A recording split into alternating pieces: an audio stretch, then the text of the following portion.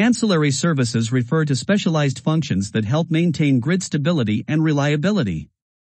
These services include frequency regulation, voltage control, reserves, and black start capabilities. Ancillary services are essential for ensuring the uninterrupted supply of electricity. They help manage fluctuations in power demand and supply, prevent grid disturbances and support the integration of renewable energy sources, ultimately safeguarding the reliability and quality of electrical services. Ancillary services were traditionally provided by electricity market mechanisms or centralized large-scale electricity producers, such as nuclear, coal, gas and hydro power plants, which will only offer limited availability within the future electric power system landscape. Ancillary services can include synchronized regulation, which is a service that corrects for short-term changes in electrical imbalances that might affect the stability of the power system. Contingency reserves, which are used to respond to an unexpected failure or outage of a system component, such as a generator, transmission line, circuit breaker, switch or other electrical element. Black start regulation, which supplies electricity for system restoration in the unlikely event that the entire grid loses power. Flexibility reserves, which is an emerging concept for addressing variability and uncertainty on timescales longer than contingency and regulating reserves. The development of new market mechanisms and electrical devices capable of providing ancillary services in real time will become essential for the transition, transition towards smart grids. An important factor in ensuring this transition will be greater involvement of consumers and prosumers in the provision of ancillary services mainly because of the financial benefits they can obtain from their participation. Possible solutions for the provision of ancillary services.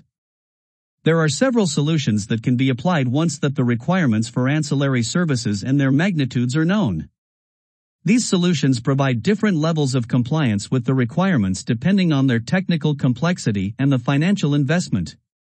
To ensure the provision of ancillary services required for secure and stable operation of modern electric power systems, typically Following solutions are used, functionalities and flexibility offered by generators, energy storage systems and loads. Properties and performance required via grid codes or legal requirements of devices connected to the electric power system. Flexible use of electrical grids by TSOs and DSOs via their energy management systems. Services procured by system operators from third parties based on bilateral agreements or market mechanisms. Frequency Containment Reserve FCR, Automatic Frequency Restoration Reserve AFRR and Manual Frequency Restoration Reserve MFRR and Restoration Reserves RR are specific categories of reserve power that play a vital role in maintaining grid stability, especially in response to sudden changes in frequency. In order to maintain the frequency within specific limits, transmission system operators TSOs implement balancing services which they obtain from providers known as balancing service providers BSPs. While the requirements may vary from one country to another, following the harmonization of balancing markets in Europe, BSPs are now obligated to ensure they deliver the reserve service within a 5-minute time frame, frame referred to as full activation time. After an initial 30-second period, AFRR takes over as the secondary reserve, while the tertiary reserve, known as MFRR, provides support or partially takes over from AFRR after approximately 12.5 minutes. Here's how they relate to the broader concept of reserve power.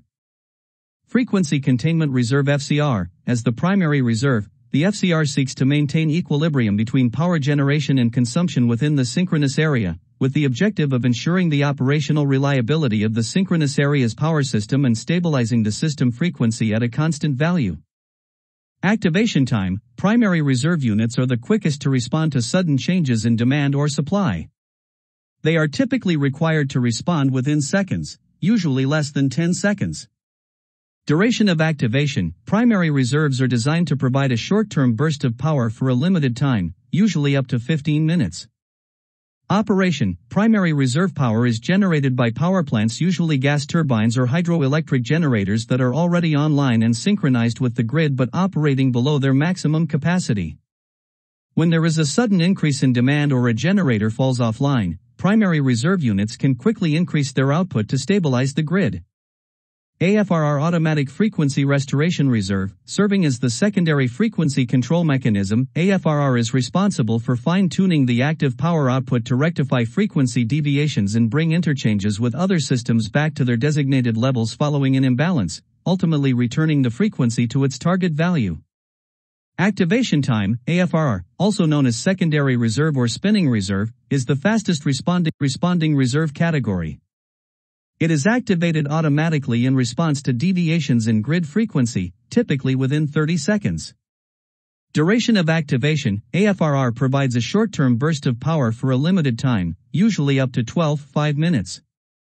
Operation, when there is a sudden increase or decrease in electricity demand or supply, Grid frequency may deviate from its nominal value e.g., 50 Hz or 60 Hz.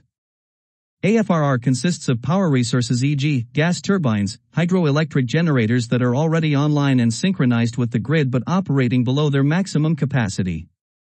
These resources can quickly increase their output or reduce their generation to help restore the grid's frequency to its nominal value. MFRR Manual Frequency Restoration Reserve, in its role as the tertiary frequency control, MFRR's responsibilities encompass reinstating the primary and secondary frequency control reserves, managing congestion within the transmission network, and restoring both frequency and interchanges to their specified target values.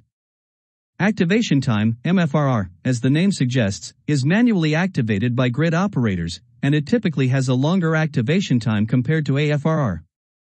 Duration of activation, MFRR is designed to provide power for a longer duration, often several hours.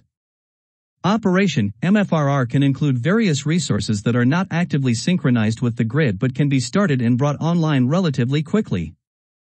This category may also encompass demand response programs and energy storage systems, systems, where certain loads can be manually curtailed or increased to provide additional supply or demand to restore grid frequency. Grid operators initiate MFRR when AFRR and other reserves are insufficient to address frequency deviations. Replacement Reserve RR RR is tasked with replenishing or reinforcing the necessary level of frequency restoration reserves and addressing system imbalances, including maintaining generation reserves through active power reserves. Restoration reserves are vital for ensuring the rapid recovery of grid operations and minimizing the impact of large-scale outages on communities, industries, and essential services. These reserves require careful planning, coordination, and resources to address the unique challenges posed by the restoration phase of grid operation. Activation time, restoration reserves are typically activated in the aftermath of significant disruptions, such as large-scale blackouts or cascading failures. The activation time for RR can vary significantly, depending on the complexity of the restoration process and the extent of the damage. Duration of activation, RR may need to be available for an extended period, potentially spanning several hours to days, as restoring a large-scale grid system can be a complex and time-consuming task. Operation, restoration reserves encompass a wide range of resources and strategies.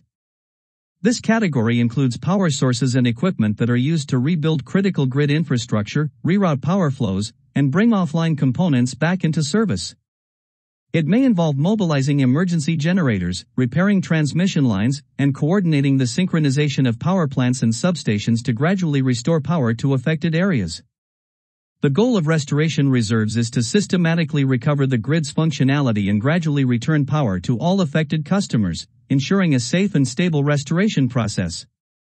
These reserve categories are crucial for maintaining the stability and reliability of the electrical grid.